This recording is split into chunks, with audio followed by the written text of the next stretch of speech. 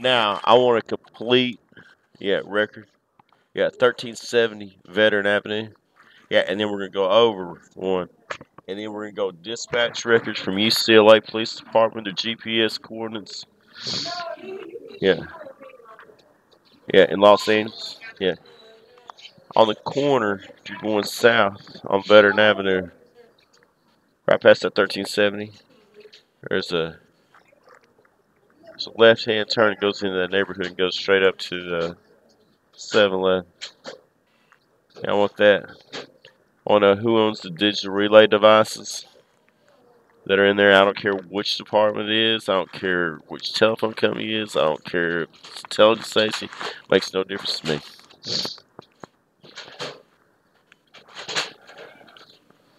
I don't care. And uh I need you need I want a personnel assignment sheet. Yeah. From the Wilshire building. That includes old and new. Yeah, I want to see their video logs. Yeah, I want to see cooperative evidence on their access logs, and I'm talking physical access. Incoming act going. Also their personal telephone communication devices. Also the assignments on the motor pool. Also how many vehicles came in and out of that parking lot. And also there's a garage there. I want to know what is in that garage, why it's there. I want to see all the video edits from the Fox News, which is adjacent. It's about a it's a, about a block down the road on Sepulveda on that corner. Also, there's a Chinese gentleman. I want to find out where he is, what he's doing. Oh no, he is alive. In witness. Yeah. Okay.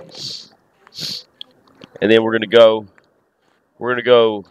If you want to go into uh, the apartment residence and you want to talk about targeting of homeless individuals, also all the police officers that walked into that in, into that Westwood Park.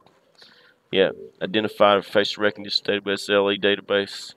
I don't care what who they're who they're with or what they're doing. I don't care if it's a wife, their kids, their brothers, sister. Makes no difference to me. Also, the dog trainer's in there. Yeah.